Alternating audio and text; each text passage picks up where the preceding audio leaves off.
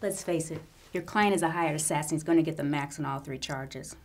You have no gun and no motive. I don't need it. With his DNA and witness testimony placing him at the scene, the jury will put it together.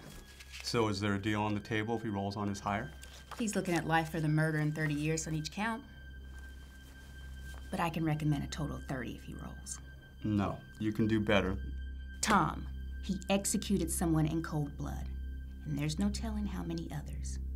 Take the deal. I don't know. That's my final offer.